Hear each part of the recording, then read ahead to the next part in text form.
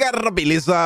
Como é que vocês estão? Meus amigos, hoje só temos dois temas, mas muitos assuntos para nós comentarmos. Eu acho que a imprensa está nos espionando. Pelo menos, tem algumas coisas aí que eu falei para vocês nos últimos dias que a imprensa comentou. Eu falei, rapaz, é uma coincidência gigantesca. Mas enfim, vocês estão vendo ali a foto? Bolsonaro versus Lula, porque vamos falar sobre isso no contexto de esquerda versus direita, né? As direitas, as esquerdas, as confusões que cada uma vem enfrentando, o embate entre ambas. Isso é uma nota bem interessante sobre o Senado em 26, também isso é uma nota interessante sobre a disputa pela presidência do Senado agora em 2025. Teve um texto do New York Times também que eles estão utilizando o Bolsonaro para criticar o Trump, que é muito curioso, né? Bolsonaro se tornando uma figura de proeminência internacional para servir de exemplo de como Trump pode ser um problema caso ele vença. E vocês vão ver quem foi que escreveu.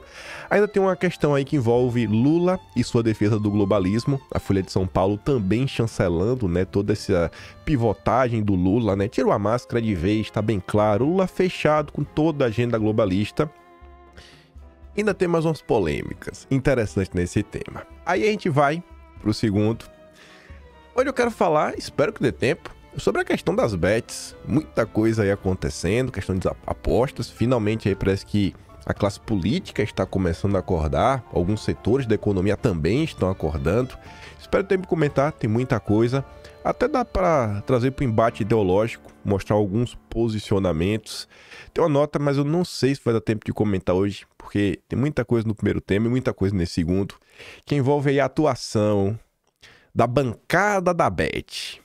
Alguns senadores e deputados que vocês conhecem, que inclusive até apareceram em alguns embates nesses dias, sendo cobrados por pessoas de direita, de um partido do barulho, um partido do barulho. Só vou falar isso, mas não sei se vai dar tempo de comentar sobre isso hoje. Enfim, depois dessa longa introdução, Celso de Rocha Barros, petista, eleitor do PT, né? Ele é petista. Ele é petista.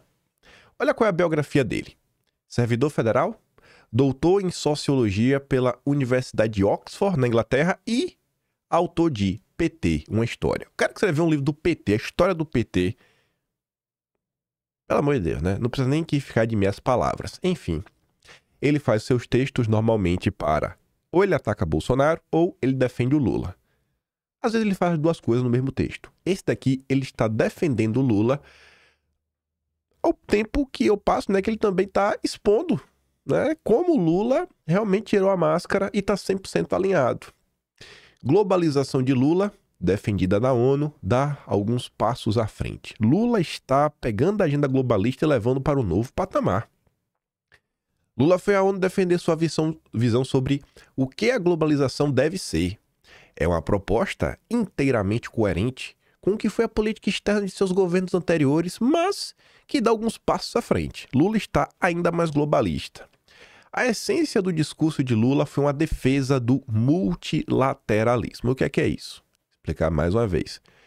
Se fala hoje é, muito né, nesse, nesse campo aí de geopolítica sobre multipolaridade.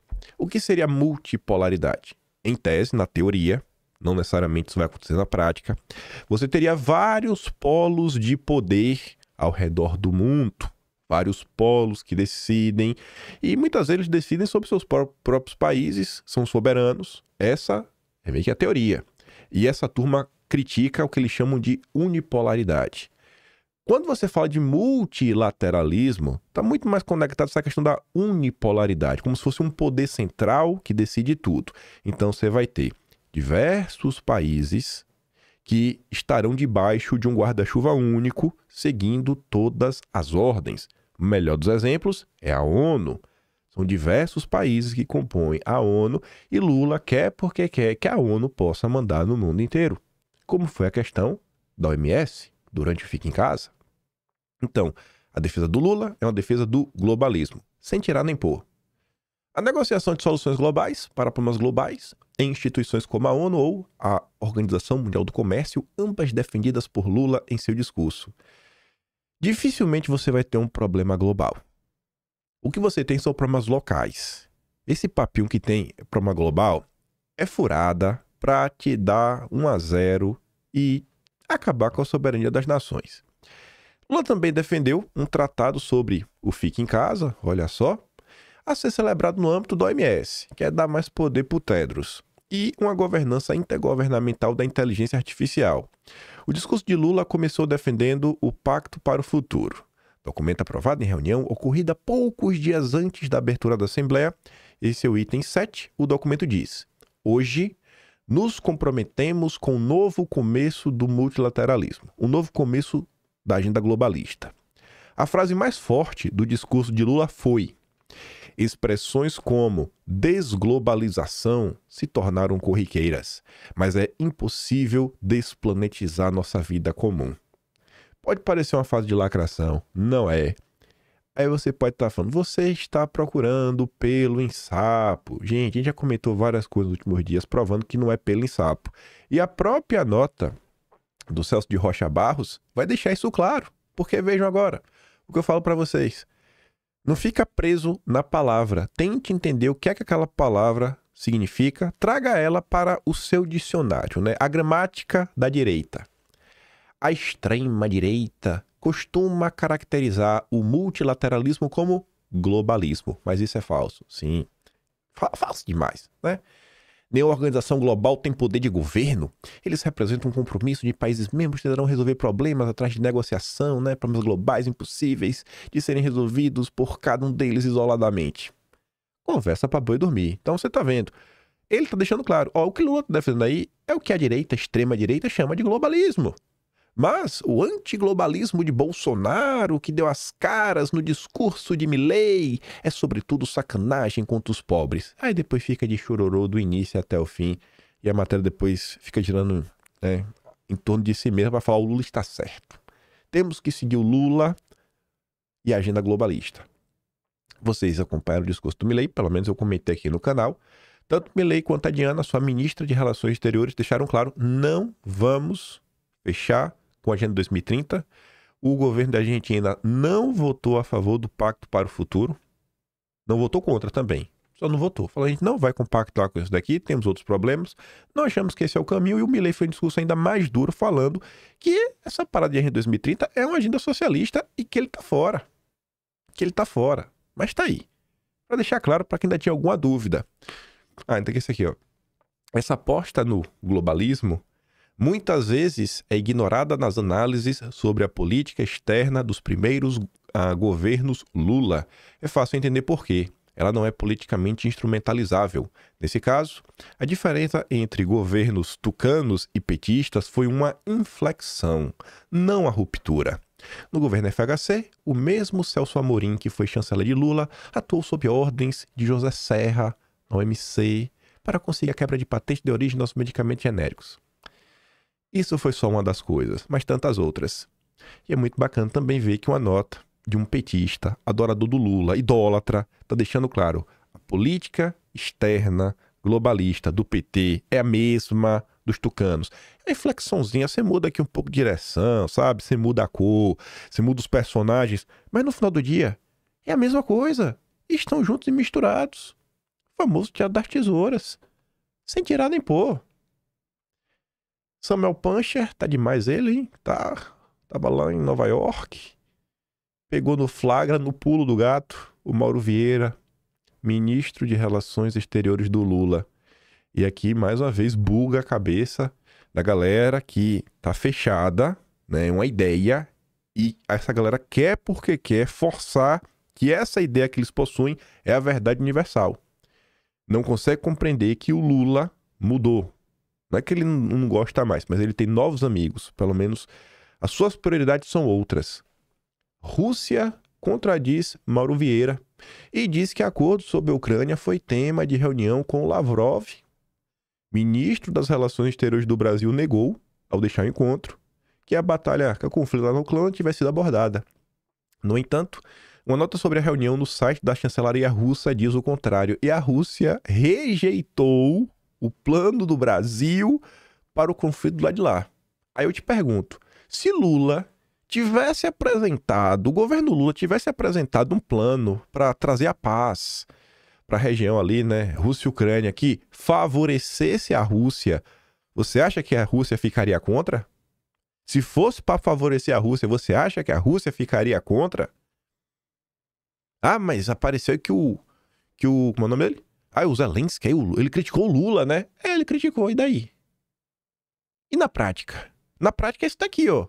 Na prática, o acordo que o governo Lula botou na mesa não agradou os russos. Vocês não acham isso estranho? Na, a, não olha o discurso, olha a ação prática.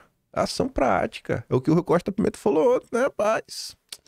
Eu tô botando muita fé no Lula, não, viu? Vai ter a culpa do BRICS. Lula aí, cavalo paraguaio, quinta coluna, sabotador do próprio movimento. Mas vamos continuar. A Folha de São Paulo publicou um texto, porque teve repercussão, né? Em muitos locais. Não é qualquer pessoa que escreveu, é o publisher.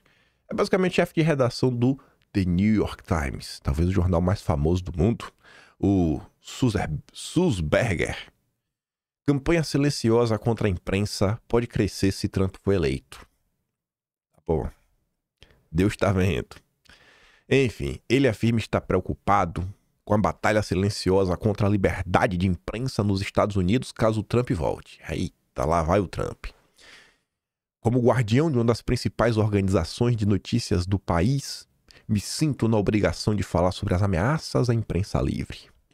Estou fazendo isso aqui nas páginas de um concorrente estimado porque acredito que o risco é compartilhado por toda a nossa profissão. Ele escreveu no The Washington Post, né? É como se ele trabalhasse na Globo e publicasse no Estadão, só para fingir que estou escrevendo no meu rival. Todo mundo pensa igual. O jornalista explica que as táticas do manual anti-imprensa incluem semear desconfiança pública, normalizar o assédio a jornalistas, manipular jurisdições legais e regulatórias, como a cobrança de impostos e fiscalização de imigração, para punir jornalistas ofensores. Ele cita como exemplo outras democracias que passaram por situações semelhantes com líderes autoritários, como, por exemplo, Índia, Hungria e o Brasil. Ah, o Brasil, país da censura, né? Mas será que é... eles vão culpar quem pela censura? Quem eles vão culpar de atacar a imprensa e censurar pessoas? Não é quem vocês estão pensando, ou talvez seja, né? Jair Messias Bolsonaro. Embora grande parte dos danos que ele causou às tradições democráticas tenha sido revertida, as normas em torno da imprensa livre da liberdade de expressão permanecem enfraquecidas diz o jornalista sobre Bolsonaro. O que é que Bolsonaro fez, gente, contra a imprensa? O que é que Bolsonaro fez contra a imprensa? Contra a liberdade de expressão. O que é que ele fez? Quem é que está removendo a liberdade de expressão no Brasil? Para o publisher, Trump e seus aliados se inspiram em Bolsonaro e seus semelhantes para colocar em prática tentativas de minar o jornalismo. Eu nem vou continuar com essa ladainha. Esse texto teve bastante repercussão, tanto que Fernando Schuller, escreve semanalmente na Veja, resolveu comentar sobre isso. E até tem conexão com o que eu falei antes, né? Ah, vai ter a questão do Lula globalista, às vezes fica com a mente muito fechada para algumas coisas. Obviamente eu não falei algumas coisas de forma aleatória, mas tá ali. Tempos orwellianos. A liberdade não é um valor que deva pagar pedágio a simpatias de um lado ou de outro. Aí ele diz, né? O Sulzberger, que é o chefão do The New York Times, tipo jovem, herdeiro de longa tradição familiar no comando do jornal mais influente do mundo, sua gestão no Times é controversa. Em 2020, Barry Weiss, uma jornalista brilhante, que havia sido contratada para dar um toque mais diverso ao diário, né, leia-se, um pouco menos à esquerda, ela se demitiu. Disse que andava cansada de ter que publicar o, sabe, o quadra, sei lá, nem sei como é que fala 4 mil, assim, não, quadra, eu sei até o quadragésimo. Mas enfim, 4 mil artigos dizendo que Trump é o único risco para o planeta. Coisa parecida aconteceu com James Bennett, outro editor que se arriscou a publicar o artigo do senador Tom Cotton, criticando os protestos na questão lá do, do George Floyd. Enfim, lembro dessas coisas para dizer que não me surpreendeu muito ler o texto de Susberger esta semana, dizendo, adivinhem, que Trump é de fato um incrível risco à liberdade de imprensa e logo à democracia e à civilização. Tudo, obviamente, no calor da eleição americana. Barry Weiss, ao que parece, tinha razão. E a Barry, ela inclusive foi uma das jornalistas que, quando Elon Musk comprou o Twitter e saiu publicando o Twitter Files, o original, o americano, ela foi uma das jornalistas que teve acesso. postou umas coisas interessantes a gente cobriu na época. O artigo chamou atenção porque fala do Brasil.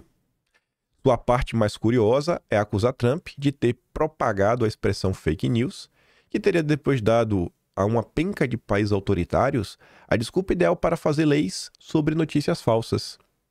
Leis destinadas a combater a desinformação, mas que serviriam para permitir que os governos punam o jornalismo independente. Aí o Schuller fala: rapaz, quem viveu no Brasil dos últimos anos sabe perfeitamente o que isso significa, né? Não vamos combater aqui a desinformação, é censura. Pé das fake news tá aí. O Brasil talvez tenha sido a democra democracia que mais puniu ativistas, jornalistas, blogueiros, parlamentares e cidadãos sob o argumento da desinformação. E basicamente, todos eram aliados de Bolsonaro. Olha que curioso.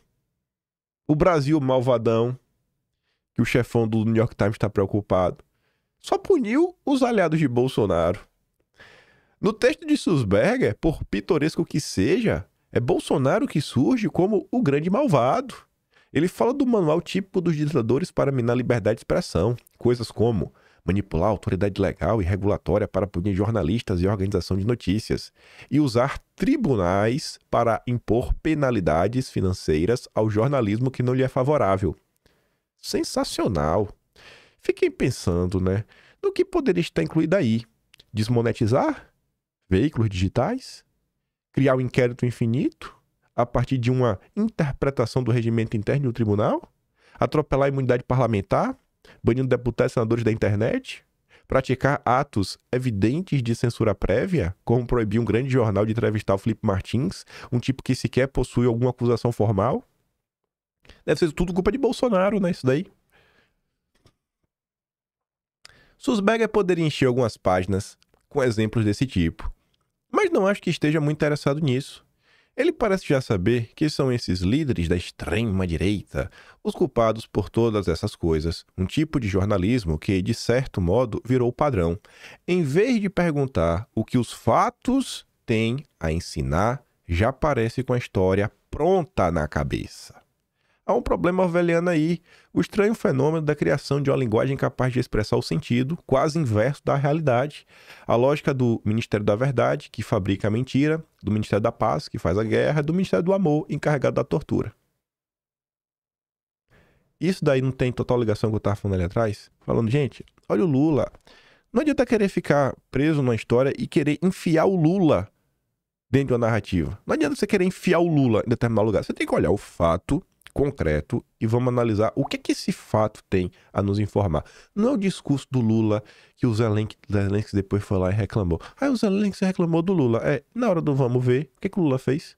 Colocou na mesma proposta que não agrada os russos. O que, é que o Lula fez no vamos ver?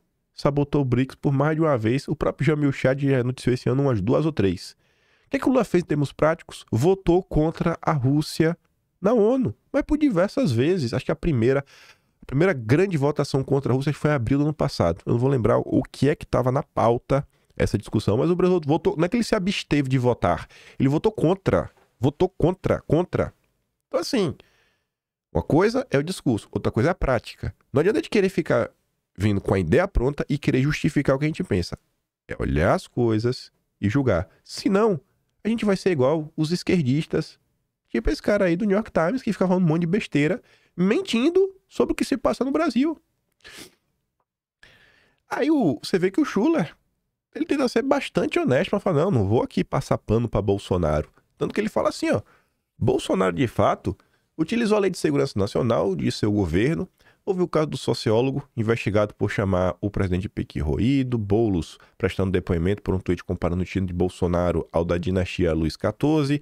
Isso entre outro, outros episódios algo patéticos. O problema é que depois disso houve uma tsunami de censura, banimento, prisões praticadas pelo Estado brasileiro. Você quer falar que Bolsonaro fez alguma coisa? Beleza, cara. Fala aí que Bolsonaro fez alguma coisa. Mas ele fez o quê? O que, é que ele fez em termos práticos? Não. É, teve um cara ali que prestou um depoimento. Tá. Prendeu alguém? Perseguiu alguém? Desmonetizou alguém? Censurou alguém? Não. Isso veio depois. Em seu primeiro ano, e quatro meses de gestão, o atual governo Lula mandou abrir três vezes mais processos e pedidos de investigação na Polícia Federal contra jornalistas, cidadãos e parlamentares do que o governo anterior. 159 pedidos em 16 meses, contra 44 em 48 meses. A maioria por supostos crimes contra a honra de dirigentes do governo ou desinformação. Um dos alvos foi o jornalista Alexandre Garcia. O outro foi o deputado Nicolas Ferreira por dizer que o presidente é um ladrão. Curiosidade em saber o que o nosso bom Susberger, com o Bill of Rights pendurado na parede, acharia desses novos autocratas da extrema-direita, usando e abusando da máquina do Estado para acossar críticos do governo ou jornalistas que faltam com a verdade. Ele tá brincando, né? Falando é uma piada. Os autocratas de extrema-direita seriam o Lula. É mentira atrás da mentira. E depois ele reclama, não, porque não levam o jornalismo a sério. Ai que pipipi, ai que popopô. Susberga teria como saber dessas coisas, apenas não dá bola. Perfeito viés de confirmação. Em vez de buscar fontes diversas e usar de algum bom senso, o, sujeito vai lá, acredita fielmente em uma fonte claramente enviesada e joga no papel que lhe dá na telha. O resultado é tipo conhecimento que Mill chamava de formulário, conhecimento surdo para a contradição que jamais deveria pautar o bom jornalismo. A crítica ao governo anterior, justa em muitos sentidos, jamais deveria servir para empurrar para debaixo do tapete o festival de abusos antidemocráticos, na expressão que li em um grande jornal.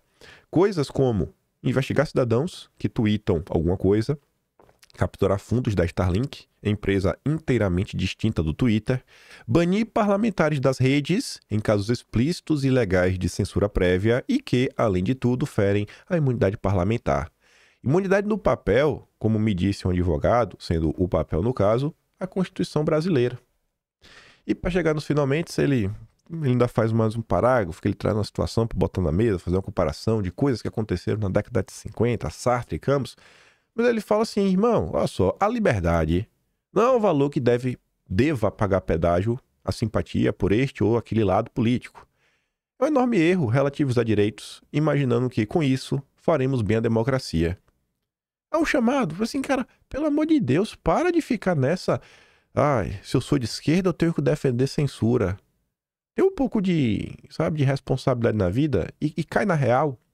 Aí ontem um amigo meu me mandou esse vídeo aqui, eu achei muito bacana, muito bacana do Fiuza. Em dois minutinhos, o Fiuza vai falar sobre um pouco de tudo que a gente falou aqui, de percepção das coisas, de tentar colocar rótulos, determinados rótulos, e que ele acha que algumas coisas às vezes não são boas, pelo menos não ajudam a explicar a realidade que está diante de nós. Vamos aqui ouvir o Fiuza. Então, o que eu quero dizer é o seguinte: só sobra a essa gente esse apelidinho ideológico. E aí, eu, com todo respeito, eu quero dizer que isso dá audiência. Olha, eu também, nós também te, te, buscamos audiência, né? Nós, nós, nós não estamos cegos, é, é, não vale tudo por audiência, mas a gente também precisa de audiência. Então, por um lado, é desconfortável até. Mas eu sei que dá audiência, eu sei que dá voto, eu sei que dá grana, eu sei que dá oportunidade, eu sei que dá notoriedade. Mas eu tenho que dizer, esse papo de resumir as coisas, a não ser que da direita e da esquerda, ele é o caminho sem volta. Ele é a encruzilhada. Ele é o lugar em que as coisas, em que o veneno está pegando. Então, enquanto for assim, se você tirar isso, por que, que você não tira? Tira isso, cara. Tira isso agora da tua vida. Você vai ficar cuidando de, de, de arregimentar? Não, se eu falar que é direita, eu, eu monto um grupo. Monta nada, cara. Monta nada, você está dando, você tá dando munição para esses caras. E eu já ouvi algumas pessoas falarem que isso seria uma postura é, de não comprometimento ou, ou, do isentão, não sei o quê. Bom, eu, quem acompanha o meu trabalho, sabe que em todos os temas eu talvez tenha ido mais longe do que né, poucos tenham, tenham chegado. Né? Então, não é do, do meu feitio evitar temas, acomodar, invernizar. E eu estou dizendo o seguinte: esse, essa dualidade, essa falsa dualidade, ela é hoje o único argumento que todos esses picaretas, eu falei de uma constelação de picaretas, acabei de falar, bilionários, imprensa, artistas, a gente vai falar dos artistas. Como é que esses artistas, como é que, como é que eles têm a cara de pau de, de se abraçar com o Lula em Nova York, depois de tudo o que aconteceu? dizendo que isso é um manifesto democrático? É por causa desse vocábulozinho. Não é que o vocábulo não funcione, mas resumir tudo apenas esquerda e direita não vai explicar tudo. Porque quando você olha para pessoas dentro da direita que pensam diferente umas das outras, como é que faz? Você tá vendo que elas são diferentes. Aí, quando o cara desagrada, normalmente a pessoa que não agradou, assim, eu não, eu não gostei do que ele disse, vou jogar ele para esquerda. Agora você é de esquerda. Não, você tem uma posição aqui sobre a questão do Banco Central que eu não gosto. Então agora você é um conservador de esquerda. Se bem conservador de esquerda, até ok, porque tem um modificador, né? Conservador de esquerda, pode ser conservador de direita, conservador de esquerda. Talvez no, no campo da economia. Então, assim, tem que olhar para a situação de uma forma um pouco mais ampla. Se ficar só em um único adjetivo, esquerda, pronto. Cara, o Lula, ele. Não falar que ele é claramente diferente da Tabata. Eles são muito similares. Mas ainda vê alguma diferençazinha. Mas já são bem mais próximos. Com Boulos aí parece pai e filho. Já o Lula comparado com Aldo Rebelo, você fala, pô, cara, tem diferença no discurso dos dois. Tem diferença. Tem, é, tem diferença. Você compara o Lula com o Rui Costa Pena do PCO, você fala, cara, tem diferença desses dois. Mas você consegue ver mais ou menos assim que os dois estão na esquerda, tá? Mas você vê que mesmo assim ainda tem algumas nuances. Quando você compara, fala aí, algum nome da grande união de direita, né, da superdireita liberal brasileira, com alguns setores mais conservadores que tem algumas visões que acham que, cara, peraí, acho que nem tudo é dinheiro. Porque tem algumas aulas que não, tem que liberar a fumaça, tem que liderar isso, porque o mercado se autorregula, principalmente a galera mais libertária da vida. E o conservador fala: peraí, cara, isso é ruim, eu não sou a favor de liberar o negócio, não. Aí você vê que o cara que tá falando isso aí, ele não é petista, ele não apoia o Lula, e aí como é que você. Como é que, em que bolha você coloca esse cara? Naquele campo ele acha que aquilo ali é, é favorável? Então, assim, tem que olhar para a situação com a forma um pouco mais ampla. Quer ver um, um exemplo de que se você ficar preso à esquerda e direita, você vai ficar perdido? José Disseu tá falando de direita. Mas quando ele fala de direita, ele não tá falando de vocês. E vai ficar claro aqui nessa matéria. E a gente vai pegar esse comportamento do José Disseu para falar da direita. E vou mostrar um problema.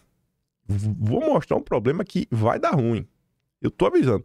Vai dar ruim e a turma da direita vai sofrer na rede social e vai ficar, ah, mas, mas, mas tem um pouco mais de paciência com a gente. E o povo não vai ter paciência nem com os senadores, nem com os deputados. Por culpa deles. Mas vamos por, por partes. A batalha pelo Senado em 26 já começou. Disseu fez uma curva fechada. Em 2018, ele afirmou que a esquerda precisava de maioria no Congresso para implementar um programa radical. Não conseguiu, né? Enfim, anos mais tarde, lançou um diagnóstico mais realista e disse que Lula havia formado um governo de centro-direita ao voltar ao poder. Agora, ele vê necessidade de ir mais longe. Aí já começa rótulo que muita ia falar: o Lula é um governo de direita? que, que, que matéria idiota, que matéria bocó. Você pode ficar preso no rótulo ou você pode tentar entender o que ele quer falar. Quando fala o governo de centro-direita, ele está falando o seguinte: o Lula não vai fazer e não vai colocar em prática a maior parte das políticas daquela esquerda raiz. O Lula vai ser um cara woke fechado com o centrão. O woke fechado com o centrão. Isso é a centro-direita, na cabeça do Disseu. Disseu disse que a esquerda deve estar preparada para apoiar candidatos de direita ao Senado nas eleições de 26. Pronto. E agora? Como é que tanca essa? Disseu que, é que a esquerda apoia a direita. Aí você vai. Aí agora deu um nó na cabeça. Se você ficar preso apenas a isso, você tem que entender o que ele está falando. Em entrevista a Mônica Bergamo, o ex-ministro petista disse que será preciso seguir esse caminho em alguns estados para evitar que haja uma maioria de extrema direita na próxima legislatura. Ah, entendi. O Disseu, então, tá mandando votar em pessoas tipo o Pacheco, tipo o Alexandre Silveira, ambos do PSD, partido que tá na boca do povo, porque eles são a direita permitida, né? Eles estão à direita do PT. Né? O PT tá mais na esquerda do que eles. E logo eles são de direita. É isso que o Disseu tá falando. Ó, vamos fechar com o Centrão. Vamos fechar com o Centrão para impedir que os conservadores elejam senadores. Mas se você fica ali no direita, raio de seu mandou votar na direita, você não vai entender o que ele tá falando. Aí vai ficar igual um bocó, reclamando por causa do rótulo. Desde que perdeu a eleição, o bolsonarismo praticamente só pensa em ocupar o Senado. No governo da oposição, uma maioria na casa é sempre valiosa, um trator potente é capaz de aprovar as propostas mais delirantes de um presidente da República ou infernizar a vida dos adversários. Para essa turma, o objetivo principal é outro. A prioridade da direita radical é ter cadeiras suficientes para eleger um presidente do Senado disposto a fazer andar o impeachment dos ministros do Supremo. Seria o início de uma vingança contra o tribunal ou, no mínimo, uma força de pressão sobre a corte. Parte da esquerda acredita que a maneira de evitar esse golpe é isolar a extrema-direita. A ideia é ajudar a eleger senadores de partidos de direita que topem disputar a eleição sem alinhamento com o bolsonarismo. O plano faz sentido, mas falta combinar com essas siglas que costumam lamber os beiços quando se associam à trupe do ex-presidente. A batalha no Senado não será uma disputa acessória em 26. A eleição de parlamentares será uma variável importante neste ciclo prolongado de riscos para a democracia. A esquerda precisará de mais humildade se quiser emplacar uma frente ampla convincente, enquanto a direita não bolsonarista terá que decidir se hipoteca seu apoio mais uma vez ao papo furado dos radicais. As movimentações da esquerda, inclusive o próprio Alckmin, que pegou o Brasil assim, né, de surpresa, realmente pegou isso. Por, por mais que assim, falou assim, cara, foi demais, sabe? O Lula, assim, tem, quando você acha o PT não tem como ser pior. Aí o Lula fala, não, eu vou além. Aí você fala, minha Nossa Senhora, Lula. Sério, até o Alckmin. Sério, até onde o PT e o PSDB estão dispostos a ir. Aí você fica, né, sem querer crer. Mas você vê que quando ocorrem esses processos que são assim gritantes, porque o cara de esquerda, ele quer eleger um senador de esquerda. Isso é natural. Assim como o cara de direita quer eleger um senador de direita. Mas veja que, desde já, estamos em setembro de 2024 e vem uma força política, que é como se fosse né, uma tsunami, né, uma força da natureza. Quando você pensa na esquerda brasileira, quantos nomes da envergadura do José Disseu você tem? Então, assim, quando o José Disseu fala, nada, nada. Aí do cara que não gosta muito do PT, etc, tudo mais, do cara que fica assim, cara, ele sabe que o Disseu não é qualquer um. Então você tem um cara que é peso pesado, que é um cara que ele fala e ele tem o pedigree, ele tem a validação para explicar, o irmão, eu falo o nome do PT. Ele não é qualquer um. Você sabe que quando o Disseu abre a boca, ele tá falando o nome do PT. Você tem que, assim, é pra ele nem ia falar se ele não tivesse, ó, coligado com Lula. Você sabe que ali, opa, essa informação que realmente vem do núcleo duro de decisão da esquerda. Então José Seu tá te avisando, ó, cara. A gente não traiu vocês. A gente não vai trair a esquerda. Mas hoje no Brasil, a gente precisa acabar com o bolsonarismo. O único grupo que faz frente ao PT. Não, não vou nem falar de conservadorismo pra galera não, não torcer o bico. São os conservadores. O único grupo que realmente faz oposição ao PT são os conservadores. E a gente tem hoje no Brasil um cenário muito bacana. Estamos fechados aqui com o poder mais poderosíssimo de todos. Você quer que os, que os conservadores criem problema no campo ali que a gente tá ganhando de, de lavada? A gente ganha, a gente ganha e ganha. De 11, 9 estão alinhados. Mas, assim, bem alinhados. De 11, 9 estão bem alinhados. É a maioria absoluta. Então, ó, vocês vão querer correr o risco de perder essa maioria absoluta que a gente tá obliterando os conservadores? Olha o que aconteceu agora com o Twitter. Aí o cara da esquerda fala, pô, realmente, né? Mas o Disseu tá vendo desde já. O Disseu não vai deixar para avisar isso daí quando chegar um mês da eleição e falar, olha só, olha só, o nosso candidato de esquerda não tem como ganhar. Então, ao invés da gente perder em pé, né, do que ganhar de quatro, é não, assim, ao invés de gente perder de pé, vamos ganhar de quatro. Vamos ganhar de quatro. Vamos votar no caso Centrão para impedir que o bolsonarismo tenha a maioria no Senado. E a gente vai impedir, pelo menos, de mexer no time que tá ganhando. Mas ele tá avisando desde já. Desde já entre em campo para explicar como as coisas funcionam. Aí vamos para cá. Isso daqui é um problema que a direita vai apanhar e eu vou rir. E vai ser bem feito. Porque isso que o Disseu tá falando, eu fiquei falando bastante para ficar bem claro, não existe na direita. Não existe. Se passado aí já seis anos, desde 2019, 2019, 2020, 21, 22, 23, 24, até hoje, eu não vejo uma força da natureza equivalente ao Disseu, que quando abre a boca você sabe que tá falando o nome da direita, entra em campo para explicar nada. Ninguém quer explicar nada. Nada, nada, assim. Deixa o povo perdido, de boca aberta. Aí quando acontece alguma coisa, toma, você é traidor, vocês se venderam pro centrão, vocês fizeram isso, vocês fizeram aquilo outro. Por quê? Porque não explica. E acha que o povo vai entender tudo. Como eleição para a presidência da Câmara e do Senado. Oposição vê erro em candidatura própria para a presidência do Senado e acena ao Acolumbre. Quantos brasileiros você acha que entende desse processo? Que não é difícil de entender mas não é uma situação trivial do dia a dia. Senadores bolsonaristas têm descartado lançar candidato para a presidência do Senado e a Senado ao ex-presidente da Casa e atual presidente da CCJ, o Davi Alcolumbre, para ser o candidato que a oposição, no caso o PL, vai votar.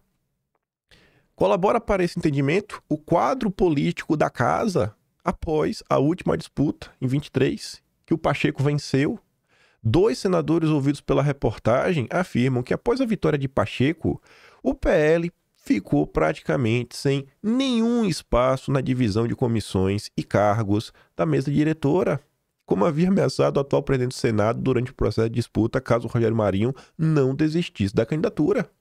O PL acreditava, segundo disse o senador, ser possível algum tipo de acordo por se tratar da segunda maior bancada da casa, mas não rolou. Não rolou. Você tá no bloco perdedor, irmão. Você perdeu de pé, fique feliz. Pra militância foi beleza. Você não traiu. Você não traiu o movimento, mas você perdeu. De pé, perdeu. Ficou sem nada. O grupo de Pacheco só aceitou criar duas novas comissões, a de esporte e comunicação, e entregou pro Romário e pro Eduardo Gomes. Que... Aquele jeito, né? Tá ali, ó. A avaliação do núcleo duro bolsonarista, no entanto, é que esse gesto não contemplou oposição mas sim senadores aliados de Pacheco que por acaso estão no PL. O PP, do senhor Ciro Nogueira, já prometeu apoiar o Columbre, cerca de seis meses atrás, durante jantar em Brasília, na casa do senador Ciro Nogueira. Embora o acordo não tenha sido tornado público à época, Ciro Nogueira disse à Folha que o partido foi o primeiro a anunciar apoio ao Columbre. Ciro afirma que a oposição vem ao Columbre um perfil mais independente, Além de ser, segundo ele, uma pessoa muito querida, muito respeitada. Nossa, como a Colômbia é querida. O que invi inviabilizaria outra candidatura. O processo do Senado já está definido. Não vejo que possa acontecer, né, que evite a eleição do Davi. Sendo que deve ter apoio também da base do governo Lula, o Columbre tenta se desvencilhar de uma das principais pautas, que é pautar o impeachment. O Alcolumbre, em conversas privadas, ele disse que ela é contra. Eu não sou a favor do impeachment, não. Em público, ele foge. Foge do tema. Alcolumbre também diz aliados que prevê um Senado mais bolsonarista com as eleições de 26 e que o andamento dessas pautas vai ser uma questão de tempo. Já em relação à anistia, Alcolumbre se compromete a manter a postura adotada frente à CCJ. Pautar projetos. Pautar é uma coisa trabalhar pela aprovação é outra. Eu, o Colombo, tá deixando claro, ó. Tu quer que eu paute, eu pauto. Agora, se não tiver voto, perder, a culpa não é minha. Quer que eu paute, eu pauto. E acho que isso não é suficiente, né? Tem que cobrar um certo empenho. Falar, irmão, peraí. Você tem que entrar em campo aí pra você dar uma mãozinha. Antes de mostrar ali o vídeo do Ebert, deixa eu abrir aqui o um negócio. Hum. Eu tô com a voz meio ruim, tô, tô gripado, né? Ah, tá dando pra me ouvir. Que tá aqui. Deixa eu ver. Deixa eu achar aqui. Aqui, eu meio que já, aqui, ó, já dei uma separada. Pra um. Deixa eu ver. Não.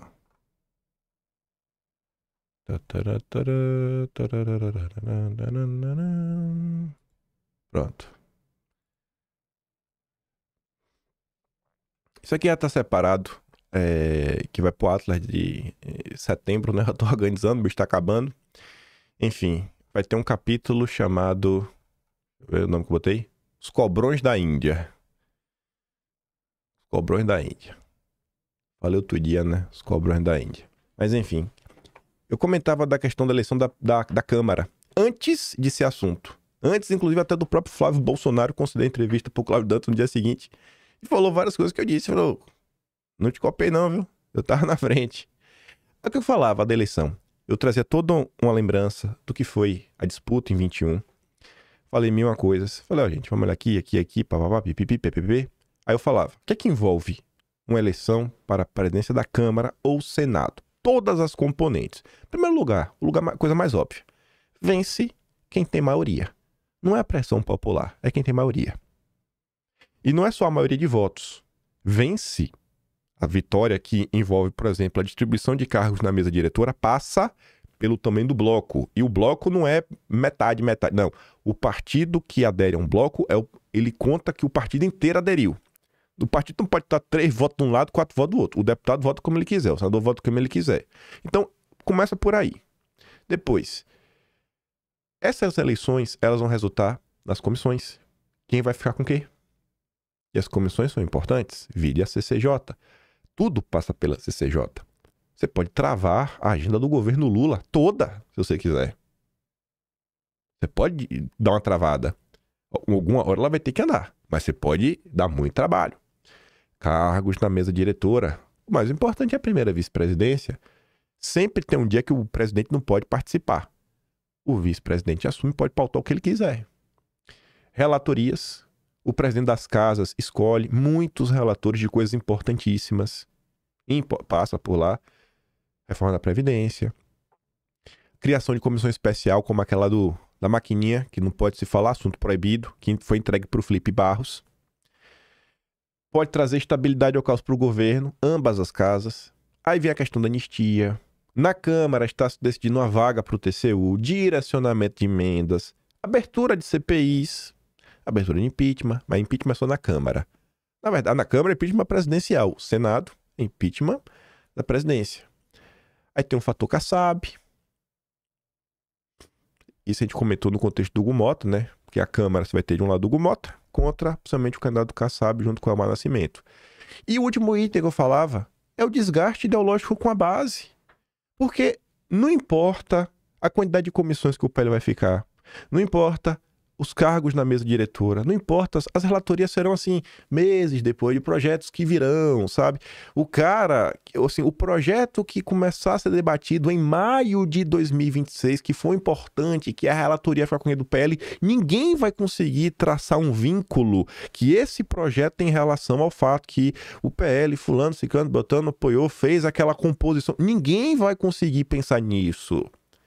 O cidadão comum não pensa nisso, então você fazer qualquer tipo de composição, mesmo a militância mais aguerrida que acompanha a rede social, normalmente essa é a mais dura dos comentários, não é um assunto que a maior parte das pessoas acompanha. Então, quando chegar ano que vem, vocês vão ver os senadores e deputados vão tomar um calor, mas vão tomar um calor bonito, aí vão ficar chorando na rede social, não, mas veja bem, veja bem. Aí vai ser, é muito mais fácil falar, não, mas a gente tem a candidatura própria. Beleza, pode ter, perder em pé, né? Pelo menos perdemos com honra, mas tá abrindo mão de tudo isso daqui. Tá abrindo mão de tudo isso daqui. Então, para quem acompanha a política com um pouco mais de seriedade, tá vendo, cara? Olha o que vocês podem estar abrindo mão. Agora, onde está qualquer liderança da direita para trazer esse tipo de conteúdo? A direita é mestre em vender curso. Minha Nossa Senhora! Você espirrou, surgiu um curso. Se fala tanto né, ensinar conservadorismo para as pessoas. Eu tô falando, não tô falando, eu tô falando especialmente de deputados. Deputados, deputados especialistas em vender curso. Para mim, jornalista influenciador é outra coisa. Mas o deputado, deputado vender curso. Ah, irmão, irmão, irmão, irmão. Às vezes vocês podiam estar explicando né, o funcionamento das coisas. O Disseu está explicando para evitar que a militância entre em rota de colisão com o governo Lula. Os deputados fazem isso para evitar que a militância entre em rota de colisão com Bolsonaro? Eu não estou vendo. Mas vamos continuar. Vamos trazer aqui um exemplo recente. Você nem se vai dar para comentar das bets hoje, sabia? Era texto que requer muitas, muitos comentários, né? Não é que requer, mas que eu sabia que ia comentar muita coisa. Escuta aqui o, o Ebert. Não dá play por aqui, ó. O Ebert não vai me dar direito autoral, não. Se ele me der, eu vou ficar. Ó, não falo.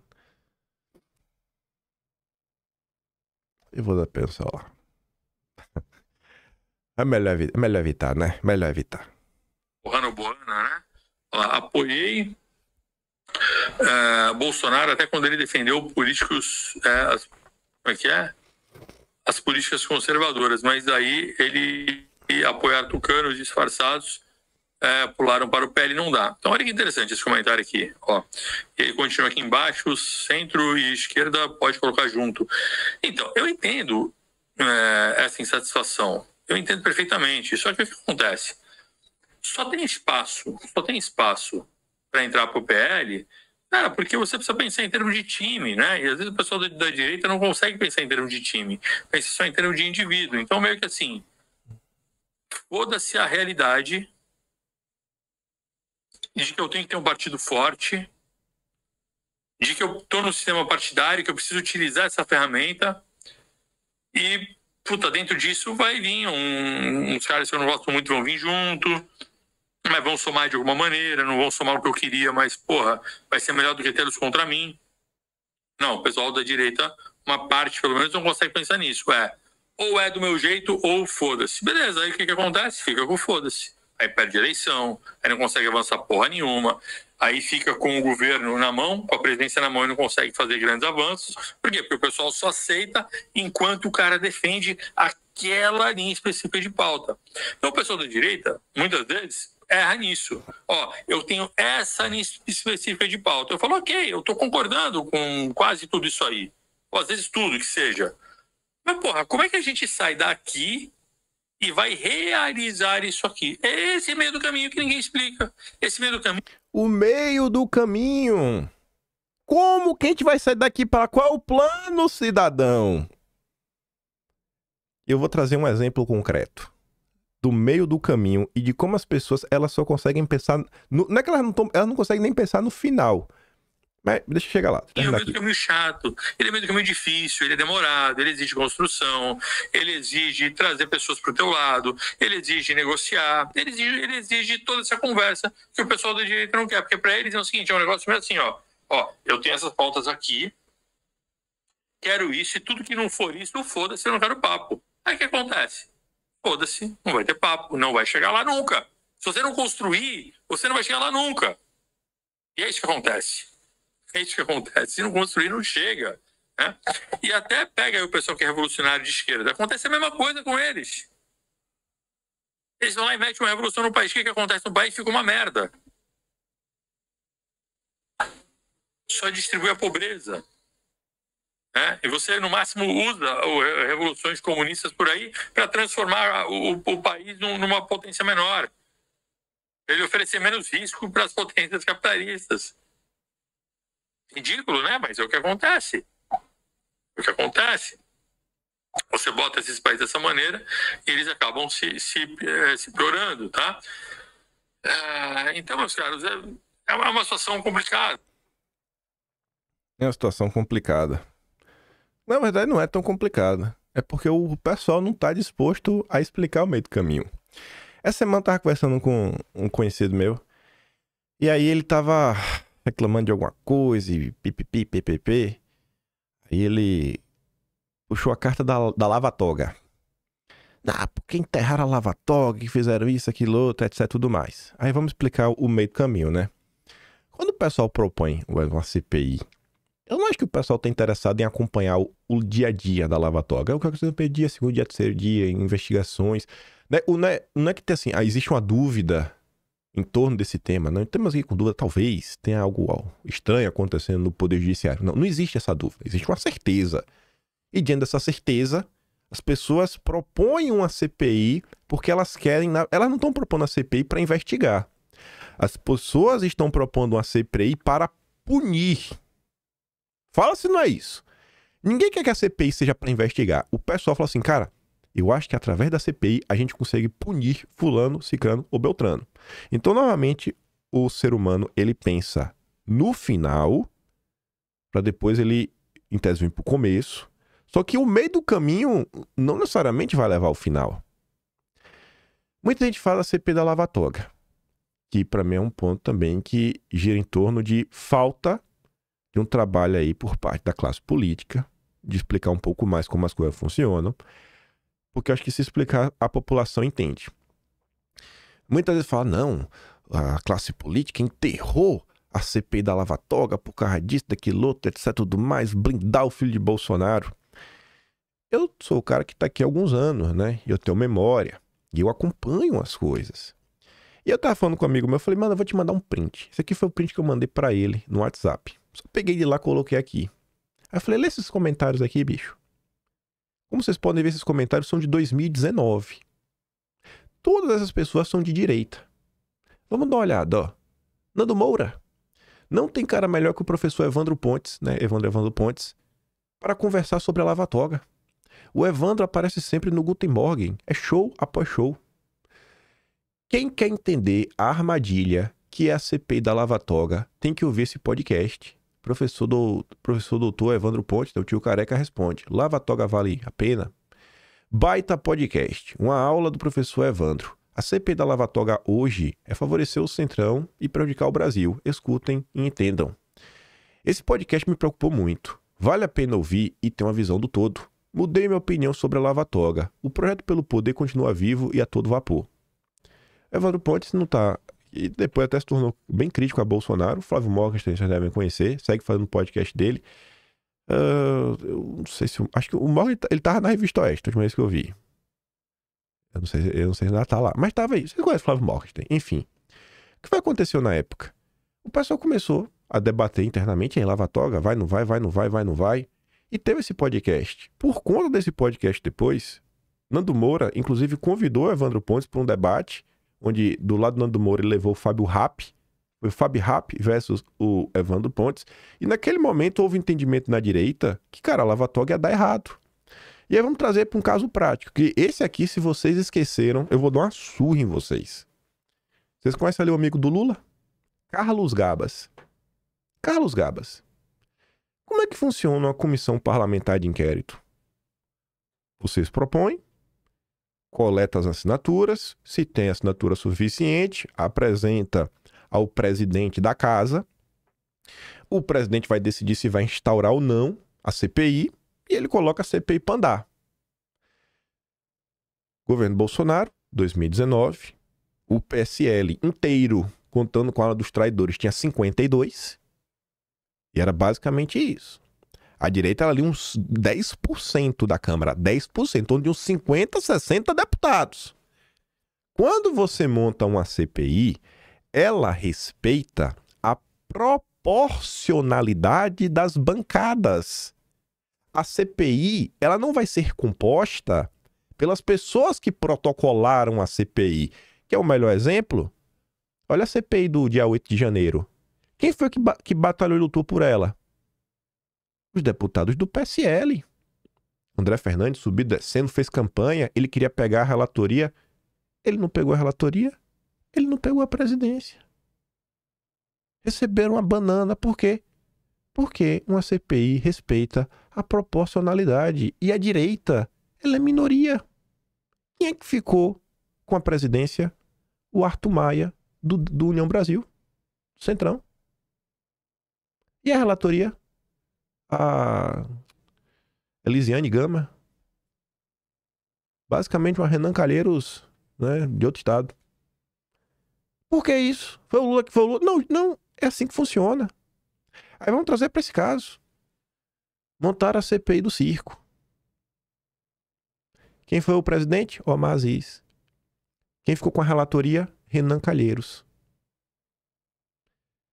pautou o Carlos Gabas depois de uma batalha de um mês. Foi um mês. A gente gritando para convocar o Carlos Gabas. O Omar Aziz sequer colocar a votação na pauta. Renan Calheiros, no início da CPI, prometeu que ele, como relator, ele poderia integrar a CPI, porque nada que envolvesse o filho dele, ele iria votar. Ele ia ficar de boa. Ele ia se abster de votar. O caso do Gabas pegava no filho do Renan Calheiros. O Renan votou. Uma cena humilhante. O Omar pergunta: E aí, Renan? Não, não, não, não. Ele vira a cabeça pro lado e fala não, para não convocar o Carlos Gabas. E aí? Aí eu pergunto para vocês: 2021 é a mesma composição que tinha desde 2019, o mesmo Congresso desde 2019, o mesmo Congresso da CPMI das fake news. No Congresso atual, que está mais à direita, porque tem uma bancada maior, veja a CPI. Aí eu pergunto para vocês, vamos voltar para 2019. Se não conseguiu convocar o Carlos Gabas, vocês acham que o ACP da Lava Toga teria quórum, números suficientes para convocar um ministro do Supremo? Vocês acham? Você, se você acha, você é muito inocente. Isso é difícil de entender? Não é. A explicação é simples? É. Mas quantas pessoas estão falando sobre isso? Os políticos que vivem lá dia após dia, qual é a, prioridade deles na hora de trazer esse tipo de assunto para o debate para explicar para as pessoas, falar, ó oh, irmão, eu entendo a sua dor, eu entendo a sua frustração, mas veja isso, isso, isso, isso, porque infelizmente as coisas funcionam assim. Hoje, pautar a lava-toga significa que a gente ia ter uma composição muito similar à CPI do circo, um Omar Aziz da vida com Renan Calheiros, aquela maioria de, de 6 a 5, né? O 6 a... Era sempre 6 a 5 Sempre 6 a 5 Você tem a 5 limada à direita e o 6 para garantir a tropa de choque, tudo do jeito que a turminha do amor e da democracia faz. No podcast, o Evandro Pontes, inclusive, falava que uma das pessoas que podia sentar no banco dos réus da CP da Lava Toga era a juíza Ludmila Lins. Ludmila Lins Grilo. Cadê a Ludmila, hein? Foi alvo. A democracia chegou nela. Saiu do Brasil, né? Porque o amor venceu vida dela não, a vida dela foi dureza. A vida do Ludmilla sofreu muita coisa. Então, gente, a gente tem que ter um pouco mais de realismo de entender as coisas, entender a regra do jogo. Mas cadê? Cadê a turma pra falar isso? Aí vamos trazer aqui. Eu falei do vídeo. Sinto que estão me assistindo, rapaz. Sinto que estão me assistindo. Um pouco disso daqui até falei, né? Nos últimos dias, eu falei, rapaz, Parei para esse texto aqui, né? O bolsonarismo era vidro e se quebrou, e direita está em né, uma confusão nas redes sociais. Eu falei, ah, eu falando isso tem um tempo, viu? O fato é que não há amor na política. Há conveniência, oportunismo e um jogo de expectativas em torno do poder. O amor que tu me tinhas, era pouco se acabou. Poderia dizer um Bolsonaro confuso, hesitante, fragilizado, diante daqueles que agora piscam os olhos para outros nomes. Nas redes, as militâncias da direita não fazem ensaio diplomático. Já partem para as críticas pesadas. O Twitter, após a suspensão no Brasil, virou um ambiente habitado sobretudo pela direita, que não hesita em usar VPN, um subterfúgio tecnológico para acessar a plataforma, e exemplifica bem as disputas internas desse grupo ideológico. O antigo Twitter tem sido palco de agressões entre pessoas que antes caminhavam unidas. Ava! Eu quero saber como é que o Sérgio Denicoli sabe disso, né? Porque o Twitter está proibido de ser acessado. Né? Como é que ele sabe disso? Não faltam ali xingamentos de direitistas a Bolsonaro, o chamando de covarde, frouxo, refém do sistema, entre outros adjetivos. A defesa do ex-presidente aparece, mas de forma tímida, pouco convincente. Quem tá lá é uma tia do zap ou outra. Também sobram ataques para o nome que representa a maior vitória eleitoral do governo Bolsonaro, o governo Tarcísio. Sua atitude cordial e sua sagacidade política incomodam, e essas vozes dissidentes na direita já tentam classificá-lo como mais alinhado ao centrão do que a direita raiz. Na última semana, o tabuleiro das eleições de 26 movimentou peças importantes. Nicolas, uma liderança incontestável nos meios online e grande influência sobre os conservadores, iniciou uma batalha aberta contra o PSD partido ao qual o deputado atribui impasse em torno do processo que busca o impeachment do ministro. Tarcísio, que tem uma forte ligação com o presidente do PSD, Gilberto Kassab, entrou na mira. Somente no Instagram, o vídeo de Nicolas alcançou quase 11 milhões de visualizações. Enquanto isso, Bolsonaro permanece praticamente calado, vendo seu império de popularidade se quebrar em cacos reluzentes e raivosos. Até chegou a fazer uma crítica velada ao Caiado, que apesar de se posicionar à direita, está com um palanque oposto nas eleições municipais de Goiânia. No entanto, continua, por exemplo, a engolir as críticas dos apoiadores de Marçal, que enxergam no candidato a prefeito de São Paulo um radicalismo inconsequente, há muito abandonado por Bolsonaro. O cenário das redes mostra que o bolsonarismo, embora ainda ressoe nas bases conservadoras, parece ter perdido sua força unificadora. Ah, não é possível. Foi o que eu falei ontem. Abrindo espaço para novas dinâmicas na direita brasileira, o cenário político caminha para uma reconfiguração, onde antigas lealdades se desintegram e novas alianças começam a se formar. O futuro do movimento conservador brasileiro dependerá não só de quem irá liderá-lo, mas também de como será capaz de se reinventar em meio às mudanças inevitáveis do jogo político que está em constante transformação. Enquanto isso, a esquerda, sob a tutela de Lula, se mantém unida e agradece. É exatamente, até mostrei o vídeo do Rigosto da Pimenta, né? Lula, o fator agregador, falando, ó, até quando os caras vão criticar, eles têm um jeitinho, né, de falar, pá, pô, bicho, o Lula, não, não vai assim de qualquer jeito, tenta, tenta cuidar um pouquinho da imagem dele.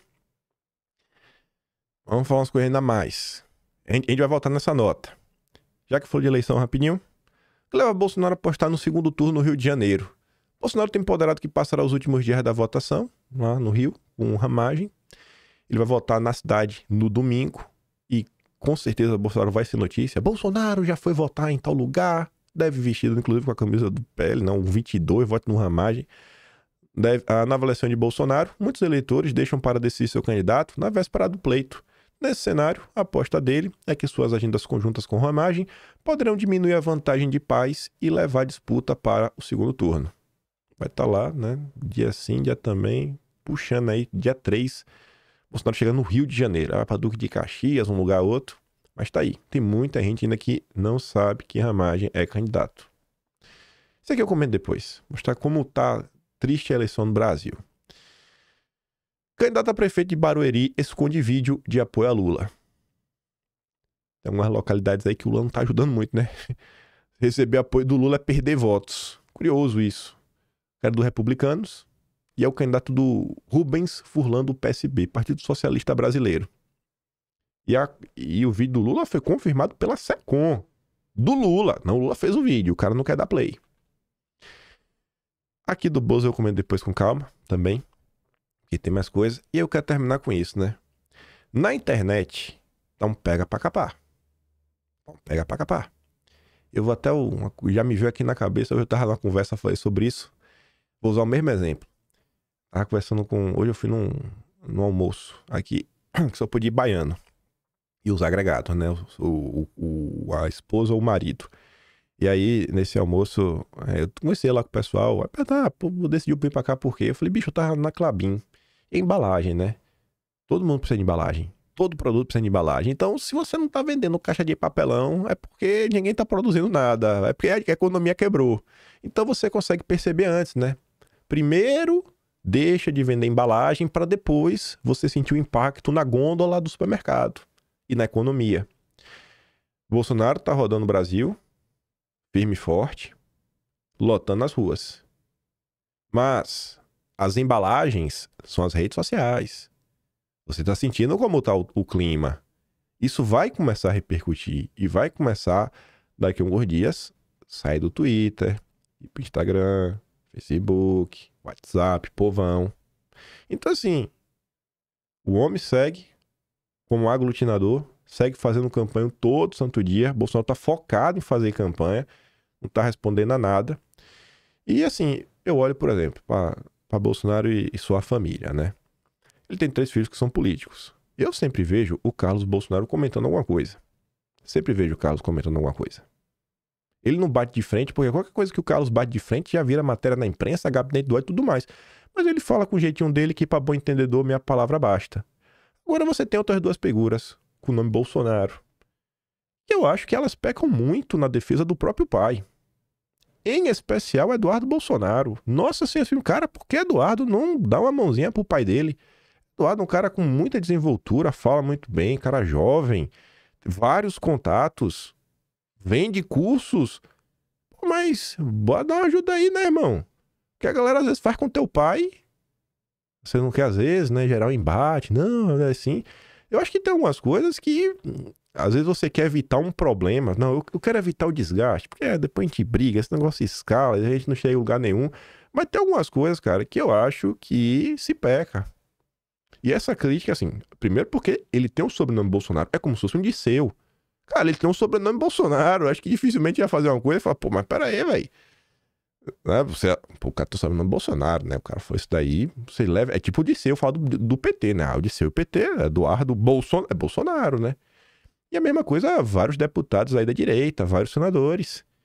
Sabe? É um negócio assim que eu fico olhando e falo, cara, bacana ver, viu? O posicionamento aí da maioria é curioso. Alguns ataques que são feitos, algumas mentiras que são propagadas, você fala, cara, isso aqui podia ser desmentido de forma rápida. Eu sei que o Twitter tá banido, mas eu também não vejo o empenho nas outras redes sociais, Instagram da vida, um Facebook, sabe, explicar para as pessoas como é que as coisas funcionam. Ao longo dos anos, o brasileiro aprendeu o nome de ministros, de tribunais superiores, Suprema Corte, até no Tribunal Superior, o pessoal já sabe, está se discutindo agora a questão do STJ, possível nomeação do Favreto, o pessoal começa, ó, pega um pedacinho aqui, Ney Bela, as confusões que aconteceram, Bolsonaro versus Dilma Mendes, nesse contexto, né? A população começa a entender um pouco do papel das comissões, a importância de uma CCJ, o que é uma comissão especial para adiantar um projeto, então, assim, as pessoas elas começam a entender. Muita gente acompanhou a reforma tributária, a população foi para as ruas pela reforma da Previdência. O povo foi amadurecendo ao longo dos anos. Mas às vezes falta um. Eu sinto que falta um. Sabe? Uma mãozinha. Uma mãozinha chegar. Às vezes falar o que o povo não quer ouvir. Às vezes falar, ó, oh, gente, entre a expectativa e a realidade tem um. A gente não tá. A gente tá mais perto da realidade do que a expectativa. Então vamos olhar aqui, ó o cenário que vem pintando, por exemplo, é o seguinte, ó, 2026 existe uma grande tendência de um aumento do bolsonarismo no Senado, dos conservadores. Vai ser maioria? Não sei. Vai ser um aumento. Maioria? Não sei, mas vai ser um aumento. Pode ser que tenha maioria. E se só tiver maioria simples, de 41? E se só for 41? Dá para abrir um processo. Mas precisa de 54 votos para chancelar o, pro, o, processo no final. Ah, mas vai gerar um desgaste, vai gerar isso, aquilo, outro. Beleza. Mas talvez assim um resultado final que muita gente espera ainda não chegue em 2026. Mas uma maioria no Senado, rapaz, você pode sentar em cima do que você quiser. As sabatinas para para as cortes superiores, a sabatina para as agências reguladoras, tudo isso passa pelo Senado. Tudo isso passa pelo Senado. Vocês podem rejeitar os nomes do Lula para a CVM, para a Anatel, o próprio Supremo. A mesma coisa para a direita. A dificuldade que Bolsonaro teve de enfrentar um Congresso refratário a ele, falar, cara, qual o nome que passa? Às vezes as pessoas acham que Bolsonaro só nomeia. Não, Bolsonaro escolheu um Aras e acabou. Mas tem que passar pela sabatina e ser aprovado. Então, se você tem maioria, meu amigo, você pode botar o super conservador, você tem maioria. Porque a sabatina não é técnica, é, uma, é política. A sabatina é política. Ele pode falar o que quiser, ele pode, o, o, o super conservador pode passar vergonha.